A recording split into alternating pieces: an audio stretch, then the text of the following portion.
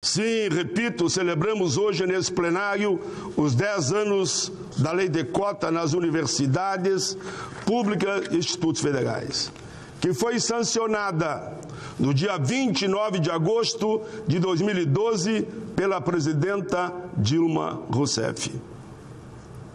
Eu tenho a ousadia de pedir uma salva de palma à minha querida amiga, que eu tive a honra de, naquela tribuna, defendê-la pelo massacre cometido com o impeachment.